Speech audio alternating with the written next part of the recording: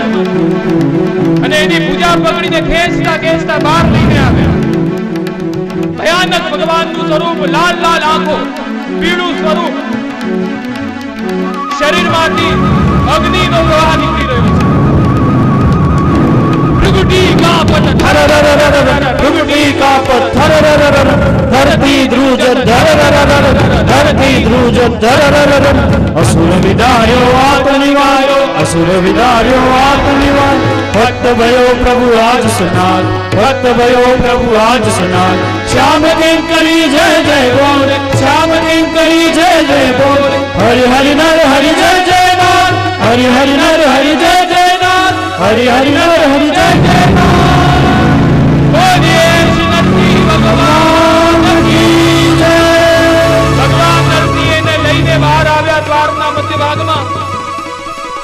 પોતાના ઘોડામાં એને કુડાવ્યો ને પોતાના વિશાળ મોટા મોટા નગદી એની આંતળીઓના પેટને ફાડી દીધો. અને એ આંતળીઓને પોતાના ગળામાં લગાડી. રક્તનું પાન કરવા લાગ્યા. દેવોએ પુષ્પ વૃષ્ટિ કરી. જે ઘોષ થવા લાગ્યો, નરસિંહ ભગવાન કી જય. ભગવાન ભયંકર ક્રોધમાં બધા પાસે આવ્યા કે હવે નરસિંહ ભગવાનને શાંત કરો શાંત કરો. લક્ષ્મીજી કહે કે, આ મારા નાથ છે હું આને શાંત કરું અને જેમ લક્ષ્મીજી પાસે આવ્યા અને નરસિંહજી એવી દહાડ લગાડીએ, દૂર ભાગી બ્રહ્માજી કહે છે કે આ તો જેના માટે આ નરસિંહ રૂપ ધારણ કર્યો છે, એ ભક્ત દ્વારા જ શાંત થશે. પ્રહલાદજી સામે આવ્યા અને પ્રહલાદજી હાથ જોડીને ભગવાનની સન્મુખ ઊભા છે. અને પ્રહલાદને જોઈને નરસિંહ ભગવાન શાંત થયા. ખૂબ સુંદર સ્તુતિ પ્રહલાદજીએ કરી તત્તે હતમ નમસ્તુતિ કર્મ પૂજા કર્મ સ્મૃતિશ્ચરણયો શ્રવણમ કથાયામ સંસેવયા ત્વયि વિનેતિ ષડંગયામ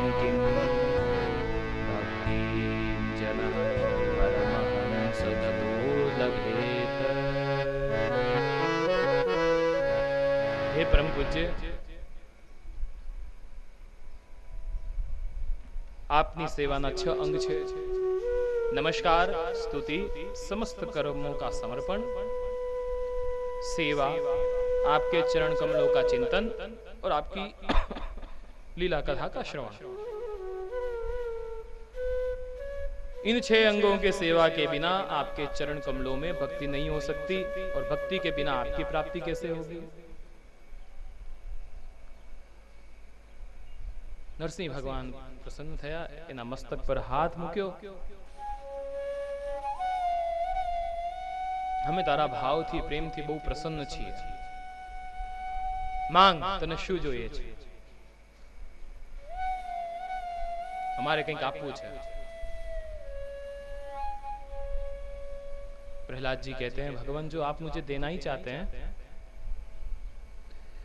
यदि राशीष में कामन वशस्वं वरदर्शव कामानं रद्यसरः भवतस्तु गुणेर्वरम् જો ભગવાન આપને આપે કંઈ મને આપવું જ છે તો એવું વરદાન આપો કે મારે અંદર ક્યારે પણ ક્યારે માંગવાની ઈચ્છા જ ન થાય હું આ માંગુ છું આપને આપવું જ છે ને તો હું આ વસ્તુ માંગુ કે મારી અંદર ક્યારે માંગવાની ઈચ્છા જ ન આવે કારણ કે પ્રભુ જ્યારે જીવના હૃદયમાં ક્યારેક કોઈ કામનાનો જન્મ થાય છે जब किसी जीव के हृदय में किसी कामना का उदय होता है तो उसके इंद्रिय मन प्राण देह धर्म धैर्य बुद्धि लज्जा श्री तेज સ્મૃતિ સત્ય આ બધું નષ્ટ થઈ જાય છે અરે પ્રભુ, જો કંઈક મને દેવું જોઈએ તો આપ એવી કૃપા કરો કે મારી અંદર ક્યારે પણ માંગવાની ઈચ્છા ન થાય. નિષ્કામ ભક્તિ, નિષ્કામ પ્રેમ.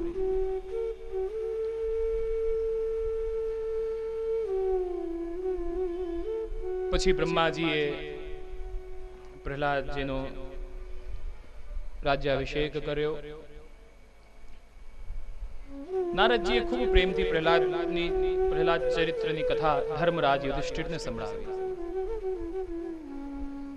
આની ફલશ્રુતિ બતાવી કે જે પ્રહલાદનું ચરિત્રનું સેવન કરે છે, શ્રવણ કરે છે, એ જીવ નિર્ભિગ્ન બને છે. જે ભયથી મનુષ્ય ત્રસિત છે, ભય ક્યારે આવે? કે જ્યારે વિશ્વાસની કમી હોય. અને આ પ્રહલાદજીના ચરિત્રથી જીવના અંદર વિશ્વાસની વૃદ્ધિ થાય છે. પ્રભુ સર્વ સમર્થો હિ તતો નિશ્ચિંતતામ રજે ભગવાન સર્વ સામર્થ્ય જબ મેરે સાથ હૈ તો ફિર મુજે ભય ચિંતા કિસ બાત કી? તો કે એ દ્રઢતા આ પ્રહલાદજીના ચરિત્રનું શ્રવણ કરીને થાય છે. જીવ નિર્ભિઘ્ન બને છે. આગળ યુધિષ્ઠિરજીએ નારદજીને મનુષ્યના ધર્મ શું છે? એની જિજ્ઞાસા વ્યક્ત કરી. અને પછી અગિયારથી પંદર અધ્યાય સુધી ધર્મની કથા છે. જેમાં ચાર અધ્યાયમાં સાધારણ ધર્મ અને પાંચથી પંદર અધ્યાયમાં વિશિષ્ટ ધર્મની ચર્ચા છે.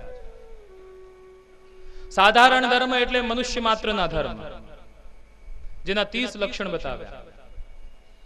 નારદજી કહે છે કે ધર્મરાજ, આ ધર્મની ચર્ચા બહુ લાંબી છે, એની કથા બહુ લાંબી છે. અને આ ધર્મની કથા મેં ભગવાનના શ્રી મુખથી મેં સાંભળી છે. ધર્મના ત્રીસ લક્ષણ બતાવ્યા, જેમાંનો પહેલો લક્ષણ છે સત્ય અને અંતિમ લક્ષણ છે આત્મસમર્પણ.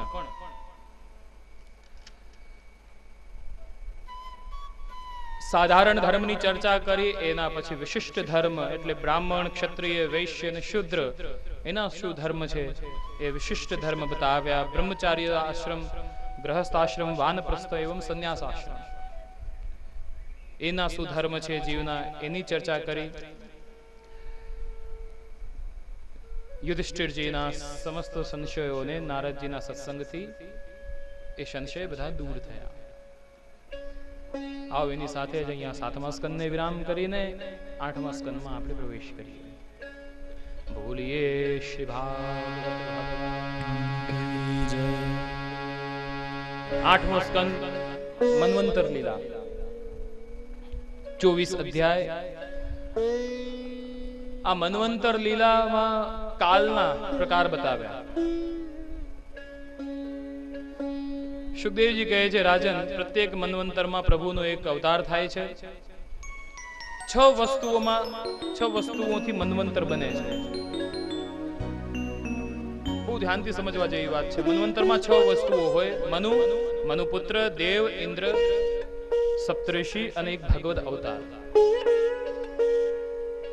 सुखदेव जी कहते हैं राजन इस कल्प में छह मनु हुए प्रथम स्वयंभू मनु जिसकी कथा मैंने आपको सुनाई स्वयंभू मनु की पुत्री आकृति देववती प्रसूति के भी चरित्र मैंने आपको सुनाए और जब स्वयंभू मनु तपस्या करने वन में गए तो वहाँ श्री यज्ञ भगवान ने राक्षसों से उनकी रक्षा की।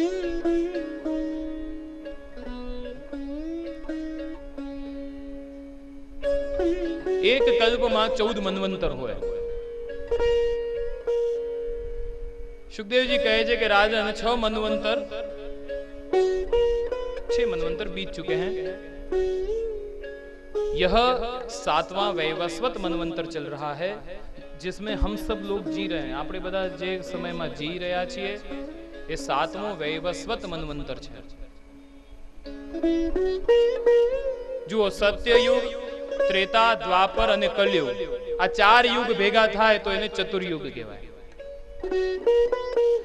ચાર યુગનો સમય જ્યારે વ્યતીત થાય તો એ એક મનવંતર થયો જ્યારે આવા ચૌદ મનવંતર થાય, ચૌદ મનવંતરનો સમય નીકળે તો એ એક કલ્પ બને। સત્ય, ત્રેતા, દ્વાપર અને કલી. ચાર યુગ એટલે ચતુર્યુગ. એ ચતુર્યુગનો સમય નીકળ્યો એટલે એક મનવંતર. ને એવા જયારે ચૌદ મનવંતર જાય, તો એને કલ્પ કહેવાય. એટલે આ જે કલ્પ ચાલી રહ્યો છે, જેમાં આપણે બધા જીવી રહ્યા છીએ, શ્વેત વરાહ કલ્પ. શ્વેત વરાહ કલ્પનો સાતમો, વૈવસ્વત મનવંતર આ ચાલી રહ્યો છે. અને એ વૈવસ્વત મંતર મનવંતરનો અઠ્યાવીસમો ચતુર્યુગીનો કલયુગ અને કલયુગનું પણ પ્રથમ ચરણ.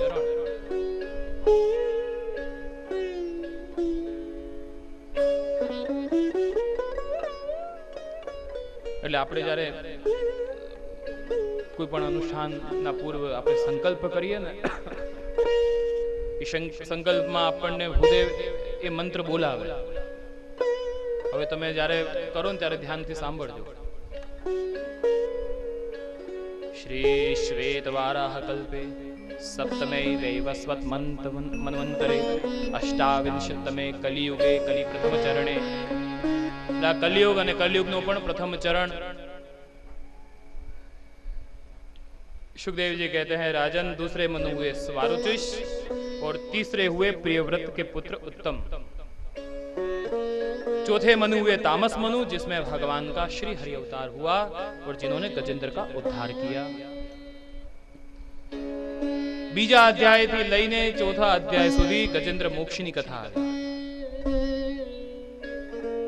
પરીક્ષિત રાજા કહે છે મહારાજ મને ગજેન્દ્ર મોક્ષની કથા વિસ્તારથી શ્રવણ કરાવો સુખદેવજી કહે છે રાજન ત્રિગુટાચલ પર્વત પર એક મદમસ્ત હાથી એક ગજરાજ રહેતો. બહુ સરસ કથા છે હવે એ હાથી એના પરિવાર સાથે ત્યાં રહેતો, ત્રિકુટાચલ પર્વત. એમાં એક સોનાનો, બીજા રૂપાનો ને ત્રીજો લોઢાનો પર્વત. એ ત્રિકુટાચલ પર્વત પર હાથીના પરિવાર સાથે રહે. એક દિવસની વાત, આ ગજરાજ પોતાના પરિવાર સાથે સરોવરમાં સ્નાન કરવા આવ્યો. સરોવરમાં ગજરાજ ગયો. ક્રીડા કરી રહ્યો તો ત્યાં જ એક ગ્રાહ, એક મગરે એ ગજરાજના પાવને પકડી લીધો. એના પગને પકડીને અંદર ખેંચવા લાગ્યો. પેલા હાથીએ વિચાર્યું કે હમણાં હું નીકળી જઈશ. છોડાવી લઈશ પોતાને, લેકિન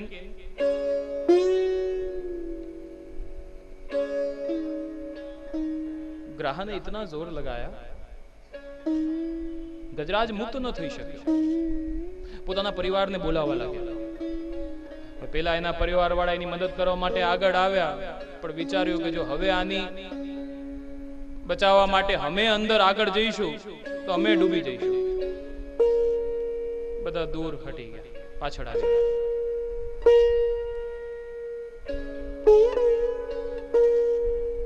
હવે ઓલા ગજરાજે વિચાર્યું કે હવે મને આ ગ્રાહના પગમાંથી તો બસ મારા ભગવાન પ્રભુ જ મને છોડાવી શકશે, એ જ મારી રક્ષા કરશે. અને એણે શું કર્યું હવે એ ગજરાજે પ્રભુને પુકાર લગાવી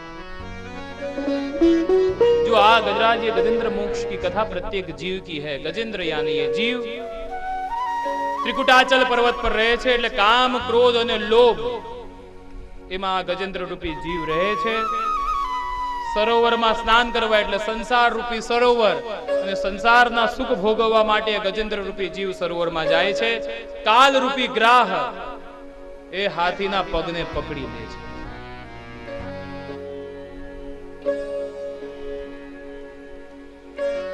આ પગ જાય ને સમજો, એક રાય પકડી લીધો કાલે. એકવાર બેસી ગયા તો ઊભા ન થવાય ને ઊભા થઈ ગયા તો બેસાય નહીં. કાલને પકડ लिया સાવધાન હો જાના.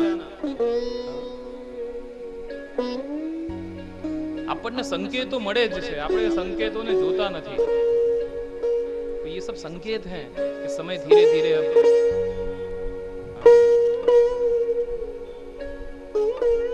ગજેન્દ્ર રૂપી જીવ વિચારે છે કે ભાઈ આ સગા સંબંધી મારો મિત્ર પરિવાર બધો મને સાથ આપશે પણ જ્યારે વિપત્તિનો સમય આવે છે ત્યારે બધા જ કિનારા કરી લે છે બધા દૂર ભાગી જાય છે.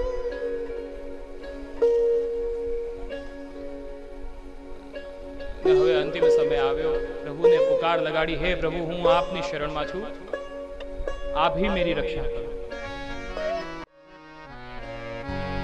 હે ગોવિંદ હે ગોપાલ હે ગોવિંદ હે ગોપાલ પ્રભુને પુકાર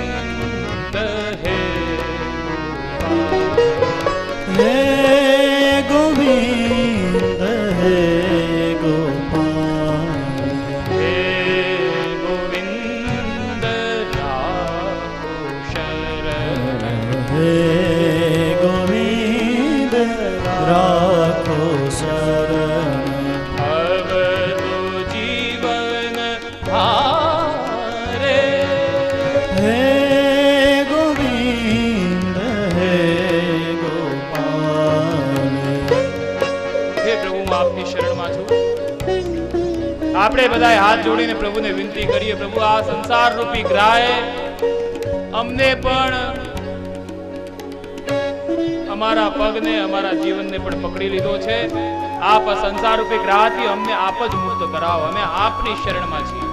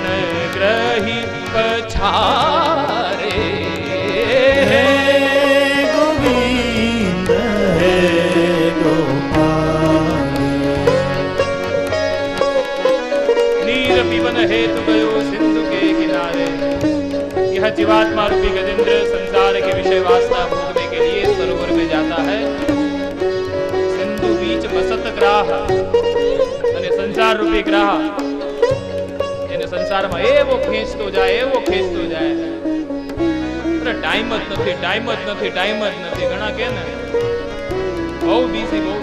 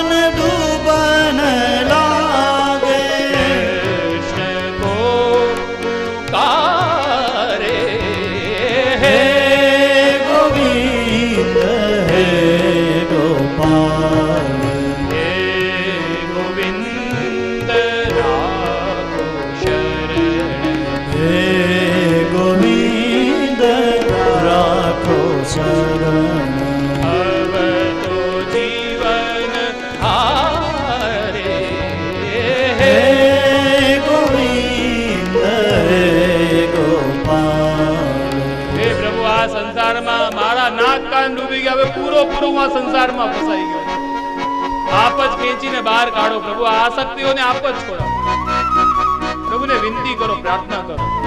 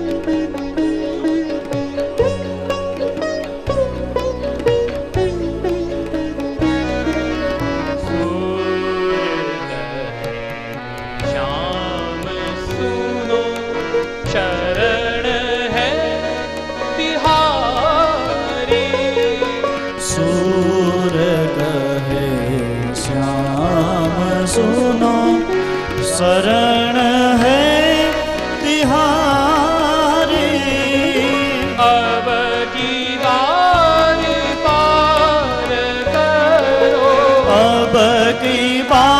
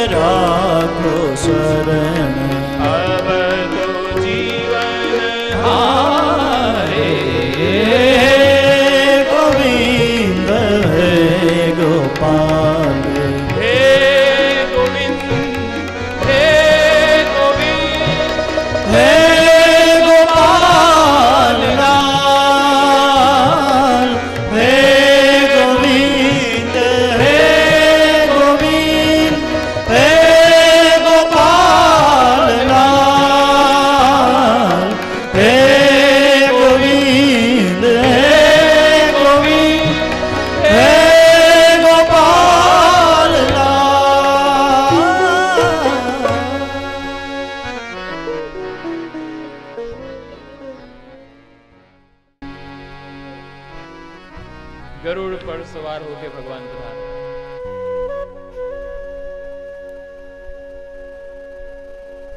ગજેન્દ્રનો ઉદ્ધાર કર. આમની પૂર્વજન્મની કથા આવે છે કે આ જે ગ્રાહ હતો એ હુહુ નામનો ગંધર્વ હતો. દેવલ ઋષિનો શ્રાપ લાગ્યો. ઋષિ એકવાર સ્નાન કરવા માટે નદીમાં આવ્યા અને ત્યાં આ જે ગંધર્વ સ્ત્રીઓ સાથે ત્યાં વિહાર કરી રહ્યો હતો, જલક્રીડા કરી રહ્યો હતો. ઋષિ સ્નાન માટે આવે ને આ ગંધર્વે શું કર્યું? છુપાઈને, પાણીમાંથી છુપાઈને ઋષિના પગ ખેંચ્યા. મસ્કરી કરી. શ્રાપ આપ્યો, જેના ચલતે આ ગ્રહ થયો. અને આજે હાથી જે ગજરાજ હતો, એ ઇન્દ્રધુન નામનો રાજા હતો. મૌન વ્રતને કારણે અગત્ય ઋષિનો સત્કાર ન કરી શક્યો જેના લીધે આને શ્રાપ મળ્યો કે સ્થુલ બુદ્ધિવાળા હાથી હો. અને ભગવદ ઈચ્છાથી આ બંનેનો અહીંયા સંયોગ થયો. ગજરાજને મોક્ષ મળ્યો. જ્યારે ભગવત ધામમાં ગયો તો જોયું તો ગ્રાહ પહેલાથી પહોંચેલો છે. અરે તું યહાં પહેલે છે? હા. कि आपके पहले भगवान ने मेरे पे कृपा की क्योंकि आप तो भगवान के अनन्य भक्त हो और मैंने आपके चरणों का आश्रय लिया तो इसलिए भगवान ने कृपा पहले मेरे पे की એટલે જે ભક્તોનો ચરણનો આશ્રય રાખે ભક્તોની સેવા કરે ભગવાન એની ઉપર કૃપા વિશેષ પહેલા કરે છે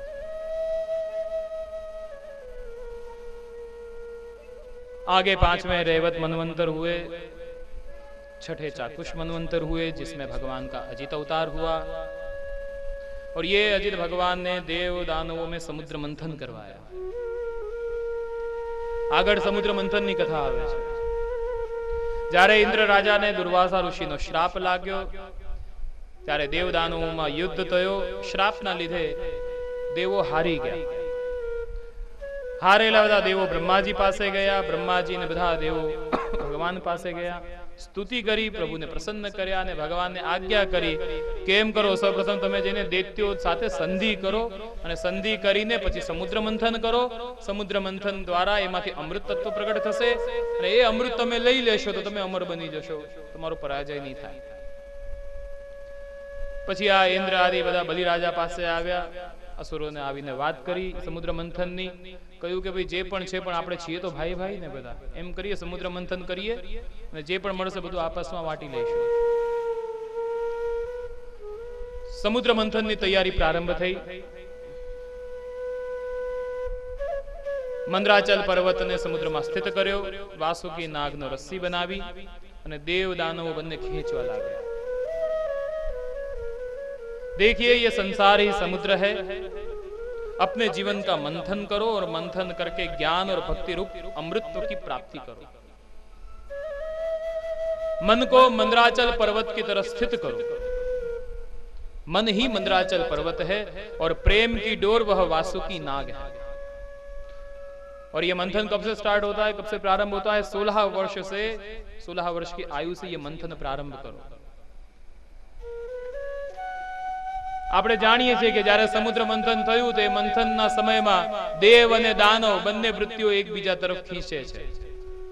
એટલે જ્યારે મનનું મંથન પ્રારંભ થાય તો દેવ વૃત્તિ અને આસુરી વૃત્તિ બંને આપણા મનને ખીંચે. પણ જો મનમાં સંયમ હોય, તો એમાંથી અમૃતત્વની પ્રાપ્તિ થાય છે.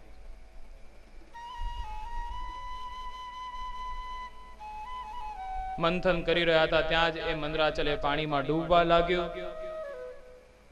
અને ભગવાને કશ્યપ રૂપ ધારણ કરીને પોતાની પીઠ ઉપર એ મંદરાચલને સ્થિત કર્યો. બોલીએ, શ્રી કશ્યપ ભગવાન કી જય. સમુદ્ર મંથન કરતા કરતા કાલકૂટ વિષ નીકળો શિવજીએ ગ્રહણ કર્યું. વારુણ દેવી પ્રગટ થઈ અસુર એને લઈ ગયા. કામધેનુ ગાય બ્રાહ્મણને આપવામાં આવી. ઉચ્ચ શ્રવા નામનો ઘોડો બલિરાજાએ રાખ્યો. ઐરાવત હાથી ઇન્દ્રએ રાખ્યો. અને પછી એ મંથન કરતા એમાંથી એક અદ્ભુત પુરુષ પ્રગટ થયા. સુંદર પીળા વસ્ત્ર ધારણ કરેલા મણિકુંડલ શોભાયુક્ત વિષ્ણુ ભગવાનના અંશમાંથી ધન્વંતરી નારાયણ ભગવાન પ્રગટ થયા. બોલીએ શ્રી ધન્વંતરી ભગવાન. કી જય. અને ધન્વંતરી ભગવાન હાથમાં અમૃત કુંભ લઈને પ્રગટ થયા અને જેમ અમૃત આવ્યો દેવ દાનવોનો ધીરજ છૂટ્યો. અમૃતનો લેવા માટે ધન્વંતરી ભગવાનની પાછળ પાછળ ભાગ્યા. ત્યાં જ ભગવાને મોહિની રૂપ ધારણ કર્યો અને મોહિની રૂપ ધારણ કરીને એ અમૃતત્વ દેવોને પાડ્યું. બોલીએ શ્રી મોહિની ભગવાન કી જય. જ્યારે મોહિની ભગવાન દેવતાઓને અમૃત પાન કરાવી રહ્યા હતા ત્યારે અસુરમાનો એ રાહુ એ દેવોમાં આવીને બેસી ગયો, રૂપ બદલીને અમૃતનું પાન કર્યું. ત્યાં જ સૂર્યએ જોયું, કહ્યું કે, મોહિની પ્રભુ, આ આ અસુર છે. ને ભગવાન પોતાના મૂળ સ્વરૂપમાં આવ્યા ને રાહુને માર્યો. પણ અમૃતનો સ્પર્શ થયો હતો એટલે રાહુ અને કેતુ બે થયા. દેવતાઓએ જોયું અમારી સાથે છલ થયો અને હવે બંનેમાં યુદ્ધ થયું. દેવાસુર નામનો મહાસંગ્રામ થયો. હવે આ દેવતાઓએ તો અસુર પીધો હતો એટલે શક્તિશાળી અમરત્વ થઈ ગયા અમર થઈ ગયા. અસુરોનો પરાજય થયો અને આ બધા અસુરો એમના ગુરુ શુક્રાચાર્યજીની શરણમાં આવ્યા. શુક્રાચાર્યજીએ સંજીવની વિદ્યા દ્વારા બલિરાજાને સ્વર્ગનું રાજ્ય હસ્તગત કરાવ્યું. ને શુક્રાચાર્યજી વિચાર્યું કે આ બલિ રાજા જો સો અશ્વમેઘ યજ્ઞ કરી લે, તો આ સ્વર્ગનો રાજા હંમેશા એ માટે થઈ જશે. અશ્વમેઘ યજ્ઞ પ્રારંભ થયો. ને અશ્વમેઘ યજ્ઞ પ્રારંભ થયો, દેવતાઓ ગભરાયા અને દેવતાઓની પરેશાની જોઈને એમની માતા અદિતિ ખૂબ દુખી થયા. મનમાં ગ્લાની થઈ. પછી એમના એમની પત્ની કશ્યપ ઋષિ એમની પત્ની અદિતિને દુખી જોઈને એમની પત્નીને પયોવ્રતનો ઉપદેશ આપ્યો. આ व्रत 12 દિવસનો ને ફાગુન કે મહિને મે યે વ્રત હોતા હે બડા કઠિન હે યે વ્રત. अदिति ने ये पयोव्रत का नियम अनुसार पालन किया भगवान प्रसन्न हुए और कहा कि अब तुम्हारे पुत्रों की रक्षा करने के लिए हम तुम्हारे गर्भ से जन्म लेंगे પ્રભુના વચન સાંભળીને અદિતિ અને કશ્યપ પ્રભુના સ્વરૂપમાં ધ્યાન કરવા લાગ્યા એમની ચિત્તવૃત્તિ પવિત્ર થઈ ધીરે ધીરે સમય નીકળો અદિતિ સગર્ભા થઈ નવ માસ પૂર્ણ થયા. અને હવે ભગવાનના પ્રગટ થવાનો પરમ પવિત્ર માસ આવ્યો ભાદ્રપદ. અને ભાદ્રપદની શુક્લ પક્ષની દ્વાદશી તિથિ. મધ્યાહના સમયે માતા અદિતિના સન્મુખ વામન ભગવાન પ્રગટ થઈ. બોલીએ શ્રી વામન ભગવાન ભગવાન કી જય. સુંદર વટુક રૂપ ધારણ કરીને ખૂબ સુંદર સ્વરૂપ એ વામન. કે જ્યારે વામન ભગવાન પ્રગટ થયા, તો એ સાત વર્ષના હતા, તો હવે પિતાએ સોચ્યું કે આમનો યજ્ઞ પવિત્ર સંસ્કાર કરે. યજ્ઞ પવિત્ર સંસ્કાર કર્યા. ભિક્ષા માંગવાનો સમય આવ્યો. તો અદિતિએ ભિક્ષામાં પોતાના પુત્રને લંગોટી આપી, ધરતીએ આસન આપ્યું, બ્રહ્માજીએ કમંડલ આપ્યું સરસ્વતી જપમાલા આપી, ચંદ્રએ દંડ આપ્યો અને કુબેરે ભિક્ષા પાત્ર આપ્યો. અને હવે એ ભિક્ષા પાત્ર લઈને માતા પિતાને નમસ્કાર કર્યા. જવા માટે તૈયાર. ક્યાં?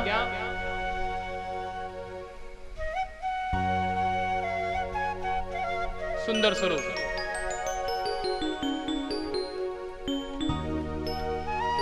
ભૃગુ કચ્છમાં જ્યાં બલિ રાજા અશ્વમેઘ યજ્ઞ કરી રહ્યા હતા, એને કંગાલ કરવા માટે. એની પાસેથી ભિક્ષા લેવા માટે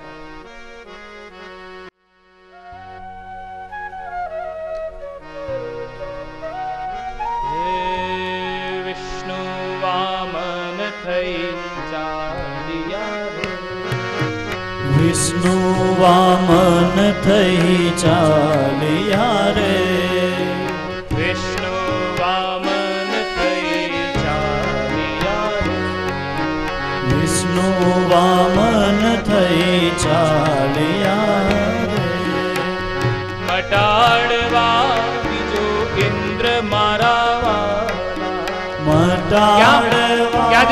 મટાડવા, ઇન્દ્ર?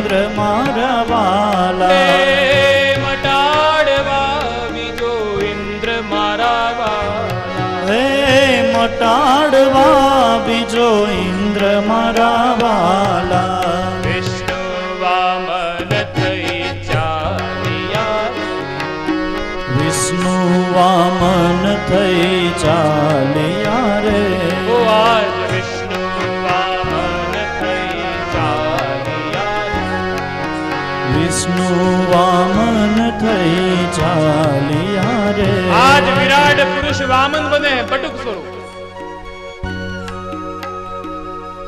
શ્વેત છત્ર સિર પર ધર્યું રે. શ્વેત છત્ર શિર પર ધર્યું રે. કર્મા મંડલ સાર મારા. હે કર્મા કમંડલ સાર મારા વાલા.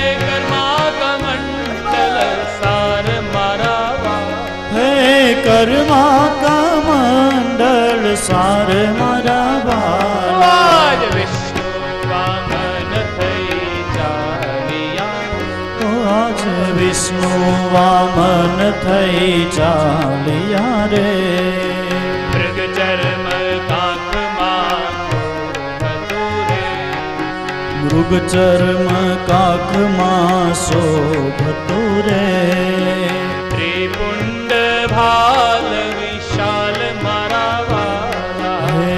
ત્રિપુંડ પુંડ ભાલ વિશાલ મારા વાલા.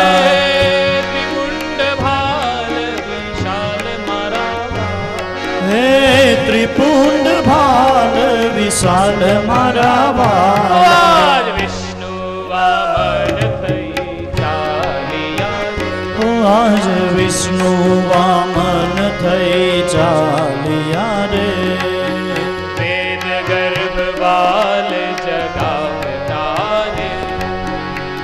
વેદ દર્ભવાલ જગાવતા રે એને.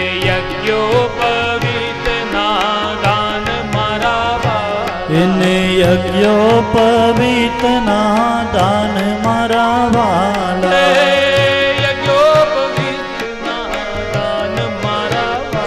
હે યજ્ઞોપવિત ના દાન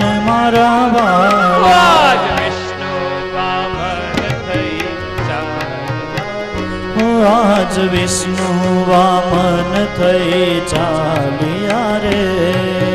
સરસ્વતી હાર આરોગ્ય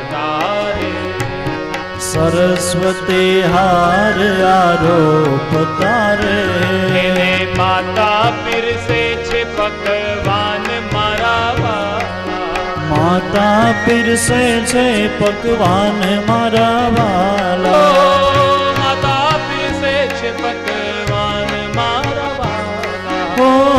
માતા પીરસે છે પકવાન મારા વાલા આજ વિષ્ણુ વામન થઈ ઓ આજ વિષ્ણુ વામન થઈ ચાલ્યા રે આજ વિષ્ણુ વામન થઈ ચાલ્યા આજ વિષ્ણુ વામન થઈ ચાલ્યા રે કરુણા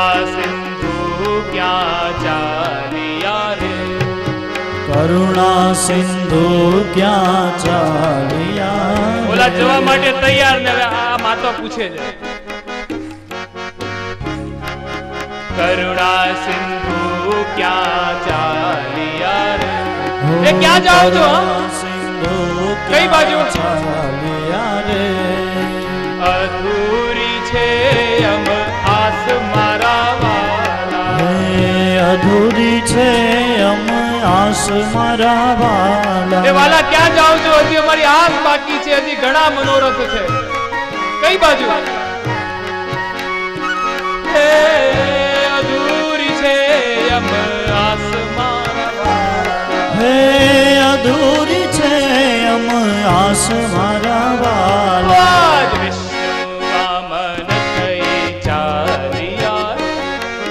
વિષ્ણુ વામન થઈ થઈ ચાલ્યા રે મૃગ હું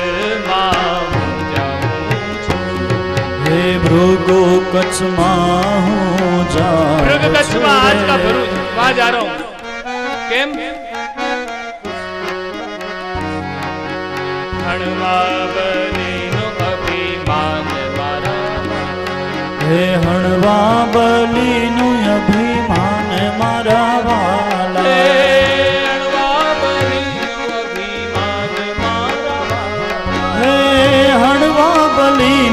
અભિમાન મારા વાલા.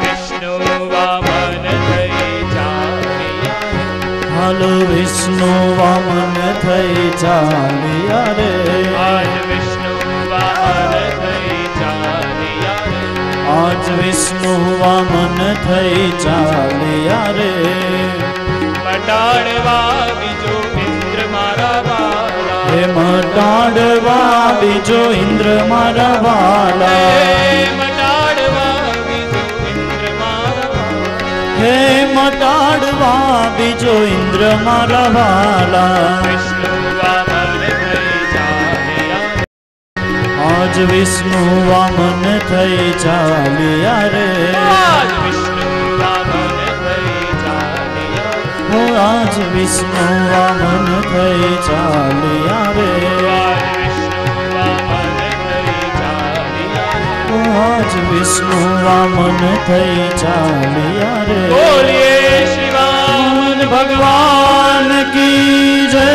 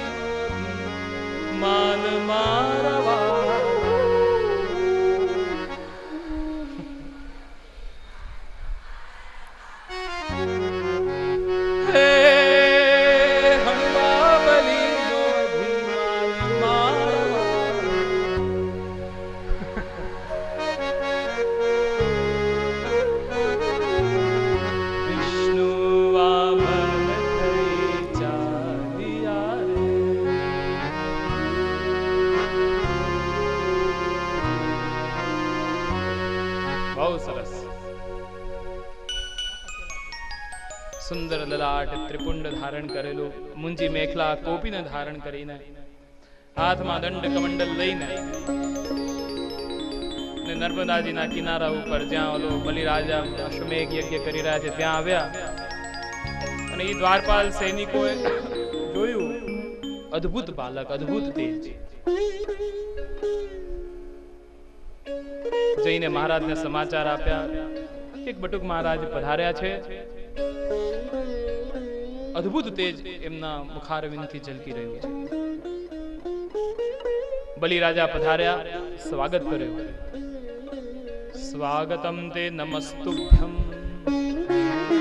બ્રહ્મન કિમ કરવામ તે બ્રહ્મશેણા તપઃ સાક્ષાત મન્યે ત્વાયમ વપુર્ધર્મ. હે ભૂદેવ મહારાજ, આપનું ખૂબ ખૂબ સ્વાગત છે. કહો, હું આપની શું સેવા કરી શકું? હું ભિક્ષા લેવા માટે આવ્યો છું કે શું ભિક્ષા જોઈએ છે? આપ આજ્ઞા કરો, જે આપને જોઈએ હું આપું. આપ કયો એટલું નગર કે નગર આપને આપી દઉં? આપને યજ્ઞશાલા માટે ભૂમિ જોતી હોય તો ભૂમિ આપું.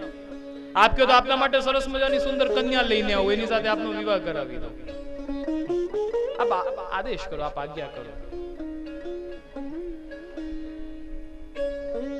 બધું તો ઠીક છે, પણ મને તો હું જે માટે આવ્યો છું, મને તો મારા પગથી ત્રણ પગ હું માપી શકું એટલી મને ભૂમિ જોઈએ.